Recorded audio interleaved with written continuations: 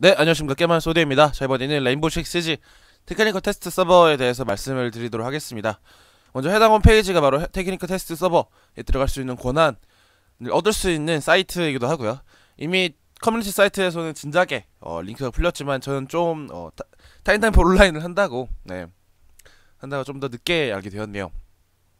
사이트 링크 같은 경우에는 제가 또 영상 밑에 하단에 있는 댓글이나 아니면 설명, 설명란에다가 제가 따로 넣어가지고 클릭만 하면 바로 들어갈 수 있게끔만 넣어 놓겠습니다. 네.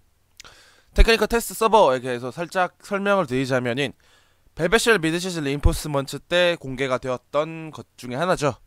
어, 그 중에서 Velvet Shell mid-season reinforce 때 언급했던 걸로는 matchmaking 시스템이나 아니면은 뭐 이외 뭐 스킨이나 아니면은 장비나 이런 것들을 좀 더 편안하게 단축할 그러니까 편안하게 장착할 수 있도록 한 번에 장착할 수 있도록 바뀐 거 그거 이외에 최근에 풀린 정보에 의하면은 GSG9의 헤드셋이라든지 그거 이외 그러니까 옷이라든지 뭐 스킨이 살짝 삐져나온 부분이라든지 그런 것들의 히트박스도 모두 다 수정이 되었다고 하네요. 그거 이외에도 뭐 몇 개 더 수정된 것 같으니까요. 한 번쯤은 살펴보시는 것이 좋을 것 같고요. 어, technical 테스트 서버 어, 공지 한번 말씀드리자면은 지금 홈페이지에 나와 있는 것처럼 그 홈페이지에서는 4월 5일부터 4월 7일까지 라고 되어 있는데 한국 시간으로는 4월 6일 새벽 2시부터 4월 8일 새벽 2시까지입니다. 그렇기 때문에 어, 살짝 주말 껴있죠. 그래서 살짝 어, 주말 껴가지고 살짝 한번 플레이 해보시는 것도 나쁘지는 않을 것 같습니다. 물론 하루 남았지만 네. 하루 남았지만 한 번쯤은 플레이 해보시는 게 좋을 것 같습니다.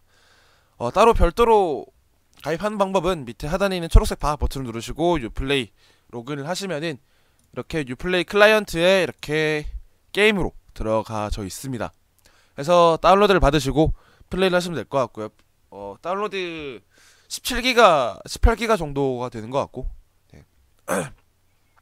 뭐 딱히 뭐 어려운 건 없죠. 어. 근데 그거는 잘 모르겠어요. Siege 게임이 없는데도 불구하고 technical 테스트 서버에 들어갈 수 있는지는 잘 모르겠고, 그 technical 테스트 서버에 들어가서 얻을 수 있는 거라고는 그냥 바뀐 것만 확인이 가능하고요. 신 오퍼, 신 오퍼레이터를 확인할 수 있는 건 아니에요. 그냥 matchmaking 시스템 바뀐 거랑 몇 개 모델링 바뀐 거랑 이렇게만 확인이 가능하니까요. 네. 들어가셔서 보시면 될 것 같습니다. 어, 따로 뭐 드릴 설명 더 없는 것, 없는 것 같으니까요. 일단 여기까지만 말씀드리도록 하겠습니다. 네, 수고하셨습니다.